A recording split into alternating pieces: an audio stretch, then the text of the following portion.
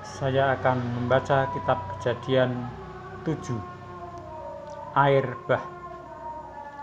Lalu berfirmanlah Tuhan kepada Nuh Masuklah ke dalam bahtera itu engkau dan seisi rumahmu sebab engkaulah yang kulihat benar di hadapanku di antara orang zaman ini. Dari segala binatang yang tidak haram haruslah kau ambil tujuh pasang jantan dan betinanya tetapi dari binatang yang haram, satu pasang, jantan dan betinanya. Juga dari burung-burung di udara tujuh pasang, jantan dan betina, supaya terpelihara hidup keturunannya di seluruh bumi.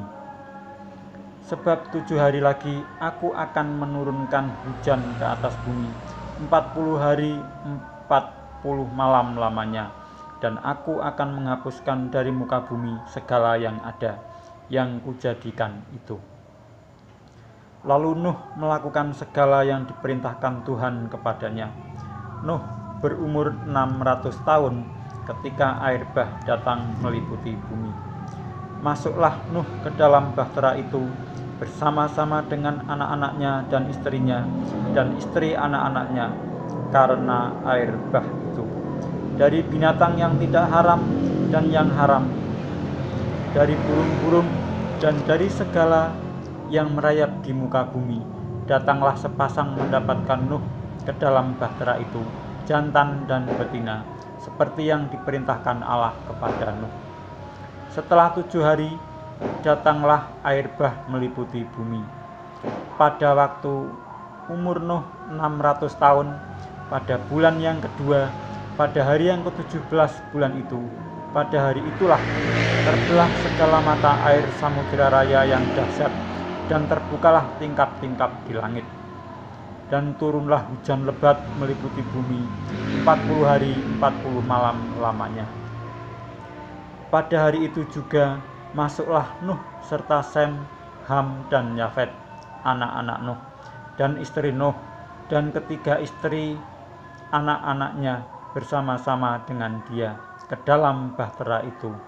Mereka itu dan segala jenis binatang liar dan segala jenis ternak dan segala jenis binatang melata yang merayap di bumi dan segala jenis burung, yakni segala yang berbulu bersayap, dari segala yang hidup dan bernyawa, datanglah sepasang mendapatkan Nuh ke dalam bahtera itu.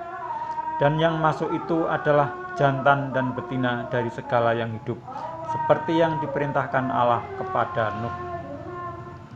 Lalu Tuhan menutup pintu bahtera itu di belakang Nuh.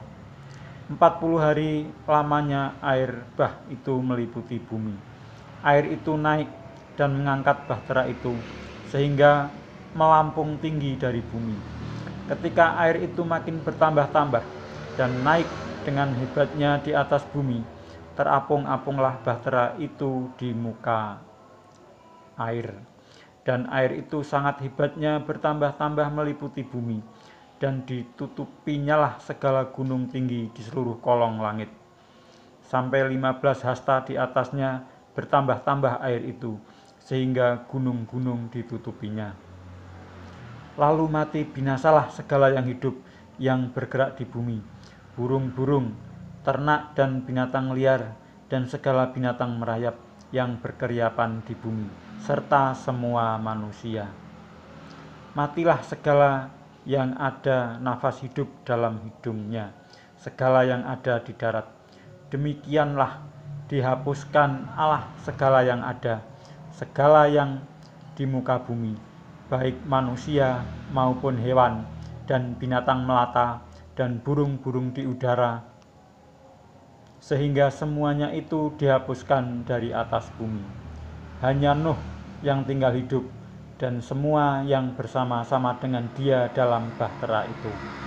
Dan berkuasalah air itu di atas bumi 150 hari lamanya.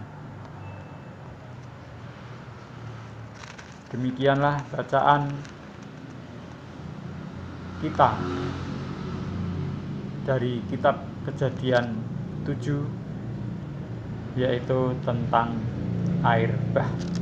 Dan akan kita lanjutkan pada kesempatan lain yaitu kejadian 8 tentang air bah surut